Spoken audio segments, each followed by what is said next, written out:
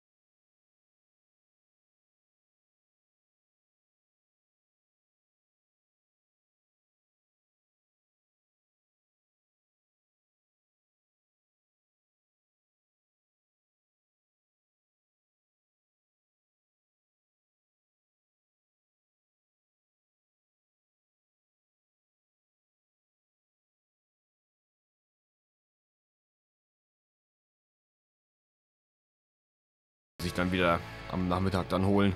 Beziehungsweise dann, wenn es gegen Abend geht, dann, wenn der Tag resettet.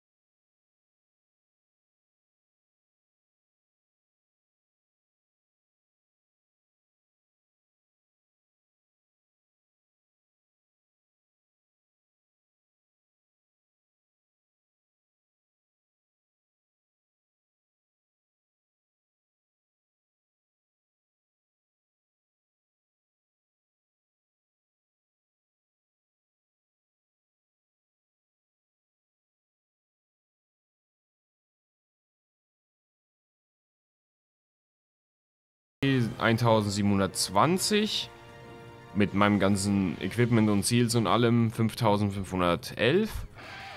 Attack Speed, ich glaube normalerweise sind es 2,4, wenn ich es richtig im Kopf habe. Und halt mit meinen ganzen Buffs habe ich 1,32. Dann 45%.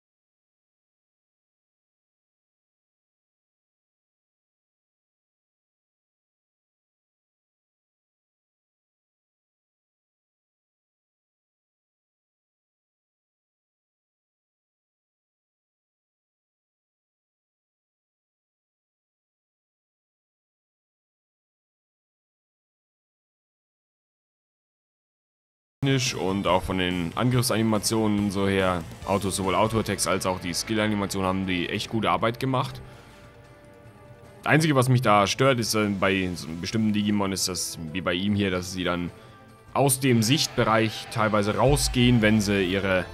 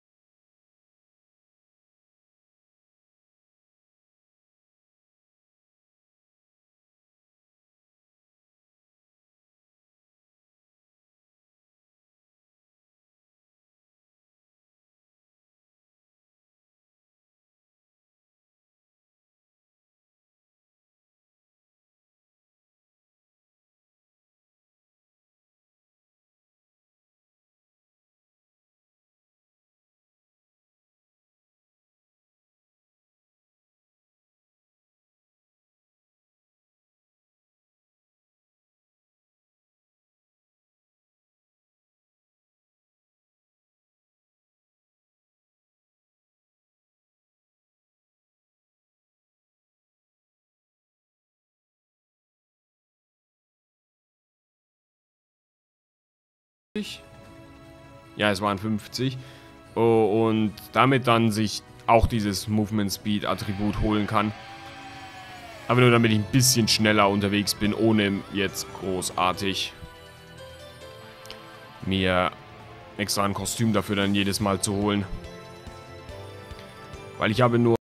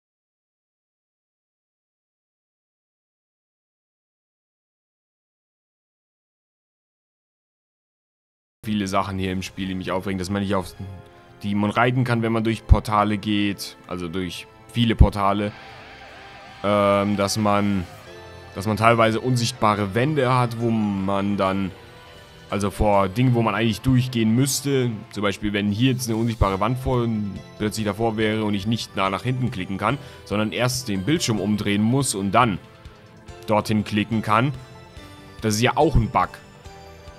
Und der ist auch schon länger da und dass sie solche Sachen einfach nicht gefixt kriegen.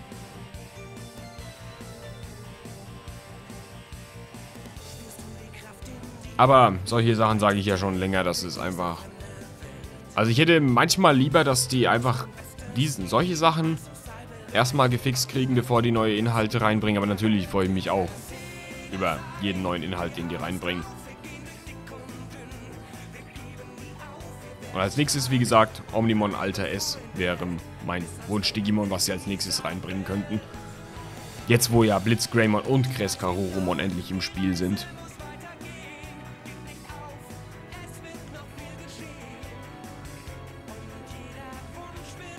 Aber irgendwann wird ja noch das Level Cap Upgrade kommen, also ich glaube bei Tamer Level 105 und bei Digimon Level 120. Das soll ja auch irgendwann in der nächsten Zeit kommen.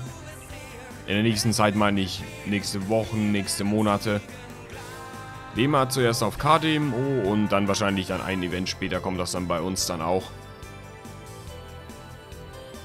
Aber aktuell würde ich mir erstmal lieber wünschen, dass die erstmal Omnimon Alter S reinbringen, bevor die die Sachen reinbringen. Aber man kann sich ja leider nicht aussuchen. Die bringen das rein, was sie reinbringen wollen. In genau der Reihenfolge, wie sie es haben wollen. An Phoenixmon werde ich natürlich jetzt nicht vorbeikommen mit Metal Garurumon X. Selbst mit meinem Susanomon komme ich da nur, wenn ich halt richtig viel Glück habe, vorbei. Aber ist mir auch schon ein paar Mal gelungen.